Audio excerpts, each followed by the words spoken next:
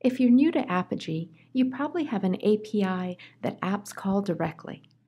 But one of the first and most fundamental concepts you'll encounter in Apigee is the API proxy. The proxy is a facade that you put in front of your API.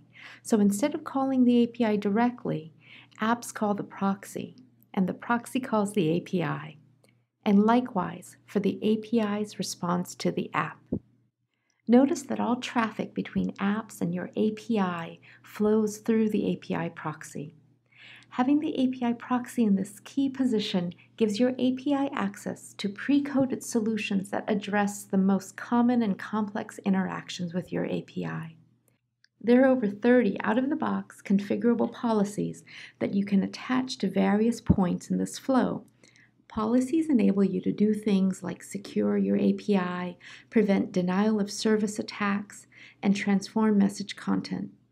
There are even policies that enable you to extend existing policies using languages like Python, JavaScript, and Java. In addition, Apigee Analytics Services is constantly gathering metrics across the entire proxy flow, such as the number of messages received, response times, errors, and many others.